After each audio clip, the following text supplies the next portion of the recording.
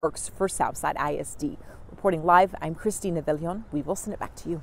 Christina, thanks. 603 right now and new this morning. Police are investigating after a road rage shooting that left one man in the hospital. They say the man was sitting in the back seat of a truck when a black pickup truck started road raging. Someone in the truck fired shots and the victim was hit in the neck. He was driven to a store along West Military and was able to call for help. Right now, no one has been arrested.